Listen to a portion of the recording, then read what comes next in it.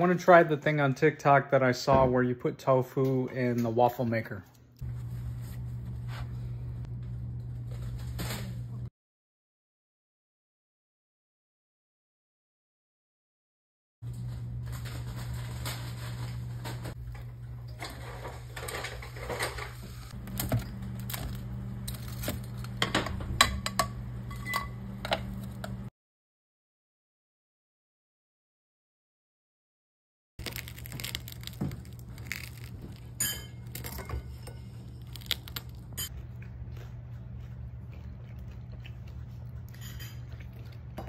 It's not bad. A little chewy.